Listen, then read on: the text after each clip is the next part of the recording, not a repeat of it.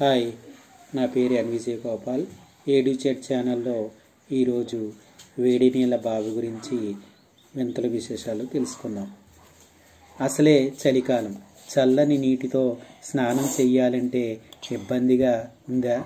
అయితే ఆ బావి వద్దకు వెళ్ళండి చాలు. కావలసినన్ని వేడి నీళ్ళు.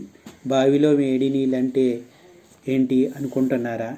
శ్రీకాకుళం జిల్లా రణస్థలం మండలంలో కోస్టా విఆర్ఓ సుబ్రహ్మణ్యం ఇంటి ఆవరణలోని బావి నుంచి వేడి నీరే వస్తోంది. పదిహేనేళ్ళ కిందట తవ్విన ఈ నేల బావిలో ఎప్పుడూ పదిహేను ఇరవై అడుగుల ఎత్తులో నీరుండేది. ఈ నెల పదిన నీరు అడుగంటింది. ఆ మరుసటి రోజు యథాస్థితికి వచ్చింది. గత రెండు రోజులుగా నీరు ఎరుపు రంగులోకి మారాయి. తోడితే వేడిగా ఉన్నాయి. దీన్ని చూసేందుకు సమీప గ్రామాల ప్రజలు వస్తున్నారు. భూగర్భ పొరల్లో రసాయన చర్యల వల్ల ఇలా జరగొచ్చని భూగర్భ జల ఉపసంచాలకులు లక్ష్మణరావు గారు తెలిపారు. Thank you. ఈ వీడియో నచ్చితే లైక్ చేయండి షేర్ చేయండి సబ్స్క్రైబ్ చేయండి.